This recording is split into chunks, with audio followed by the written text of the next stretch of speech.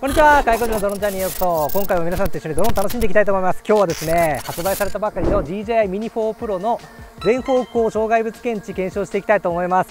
えー、とうとうですね、ミニシリーズも4 Pro になって全方向障害物検知がつきましたね。ということで、前後左右上下全部ね障害物検知がついてますので A パスという飛行方法を使って全方向の障害物検知を活用しながら障害物を避けて飛行できるっていうことでそれのね検証していきたいと思います。で、えー、まあ見ての通りですねここはあのちょっとキーが並んでいるところなんですけどこういう難しいシチュエーションで全方向の障害物検知ができてで、えー、A パスを使って迂回の飛行がどれぐらい上手にできるのかっていうのを検証していきたいと思います。あとはですね上部のセンサーがどれぐらい効くのか。まあここはあの松林みたいな感じですけどちゃんと上昇した時に障害物検知で停止してくれるのかとかねその辺をざっくりね検証していきたいと思います。じゃあスタートしましょう。まず設定としてはですね迂回飛行を選択してそうするともう障害物センサーが効きますね。はい僕が今目の前にいるので障害物を前方検知してますね。で、えー、後方も左右も、えー、上下も全部ねもう検知してますね。はい。この辺は木々に囲まれてるんで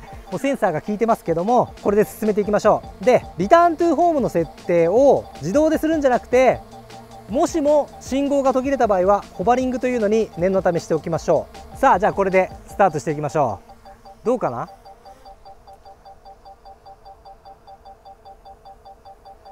これでねアクティブトラックをしていきましょう。後方からいやちょっと怖いな。どうかな。GO, GO をしないとダメですね。はい。さあこれでアクティブトラックが開始されましたけどもう常にセンサーは鳴っています。えいけるの？めっちゃ怖いけど。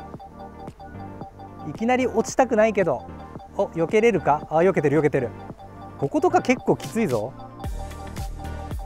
無理無理。ああ無理。大丈夫？おおお難しいけどそっちから行くのね。はい。そっちから避けてくると。広い方を選択してきましたね。あんまり狭いと多分抜けられなくて止まってしまうと思うんですよね。あでもすごい。この木々の間をちゃんと来ている。えー、すごいな。すごいすごい。ちゃんとちゃんとついてきてる。おおかわいいお大丈夫か？今までの検証結果のまあいろいろね、えー、蓄積されたあのー、知識があるんですがそれによるとですよ、えー、こういう太いね木々は検知して避けることができます。で逆に細い枝とか、えー、ちょっとまばらなあの葉っぱとかはなかなか検知できなくて、え、追突してしまうこともあるんですがこういう木々だったらまあ避けられるでしょう。はいちょっとこっち行ってみましょうか。おお来た来た来た。さあ横もあるよ。こっち側にもあるんですけどおお危ない危ない危ない。めちゃくちゃ危ないぞ。おおすごいです。はい。いやかなりねしっかり避けてくれてますね。ということで一旦ストップして。はい。いや結構ね結構今際どかったけどなかなかなかなかねいい感じだったんじゃないでしょうか。トラッキング外して。さあ今センサー効いてませんけどちょっと振り返ってみましょうね。ここの3本の木ここがね危なかったですけどかなりしっかりと避けることができました。さっきアクティブトラックしてる状態ではこのように見えてたと思うんですけどここはスーッとねこっちに避けて僕を捉えてくれましたね。いや素晴らしいです。おっとっとっと危ない危ない。はい。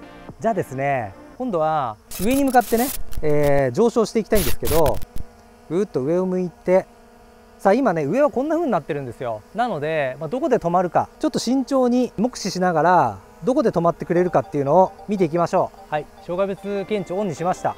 ゆっくり上昇します。情報センサー聞いて見えてるようですね。はい。今ここで止まってくれました、えー、上に木々があってそれを検知して止まってくれてますね。はい。まあ、これだけ葉っぱが密集していればちゃんと、えー、検知も効いて止まってくれるということですね。はい。なかなか優秀なんじゃないでしょうか。オフ。はい。ということで今回はですねドローン映像だけでしたけどまずはですね出たばかりのミニ4 Pro の全方向障害物検知を使ってアクティブトラックで、えー、こういうね難しいシチュエーションでどのように迂回飛行ができるのか。A パスやっぱね優秀でしたね、はい、ただ過信は禁物ですね。今までの経験上ですね。細い枝とか葉っぱとかはなかなか避けづらいんであとは極端に光が少なかったり暗いシチュエーションとか光の当たり方逆に眩しすぎてもカメラで障害物を捉えてるんで検知しにくかったりするのかなっていうのがあるので、まあ、そこは過信しすぎないで、え安全に飛ばすことが重要かなと思いますね。あくまで全方向の障害物検知がついたとはいえ補助的な機能なので危険なところをスイスイ行けるかっていうとそういうものではないと思いますので、えー、なるべく広い場所で飛ばして障害物検知はいざという時の保険的な感じで使うといいんじゃないかなと思いました。ということでこの動画をお役に立ちましたらぜひグッドボタンお願いします、えー、ドローン今後も一緒に楽しんでいただけるという方はぜひチャンネル登録お願いします。